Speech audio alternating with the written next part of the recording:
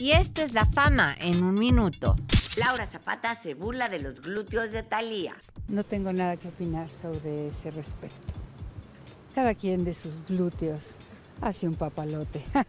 También dice que Talía se quedó con unos aretes que no le correspondían, pero que no impugnará el testamento de su madre. Escúchala aquí.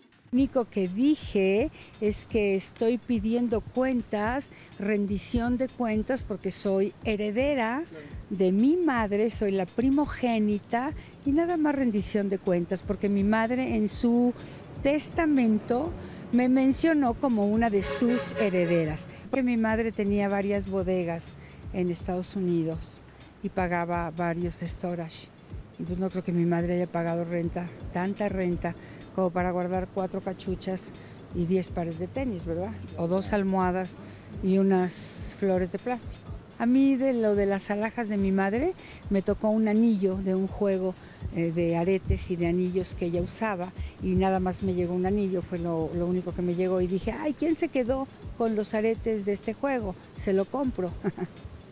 Y, Y se quedó Talía, pero no me lo vendió. nuestro- Belinda dice que ella nunca le escribió a su amiga que Chris Angel tenía amante. Esta es una probadita de solo para mujeres y dice David Cepeda que le da mucha pena con su mamá. Mi madre fascinada y mis hermanas este, tienen mucha ilusión de ir, pero, pero, pero, pues obviamente, no sé, todos mis compadres tienen, tienen una característica, todos tienen algo muy particular, eh, además del, del talento que tienen este, como actores.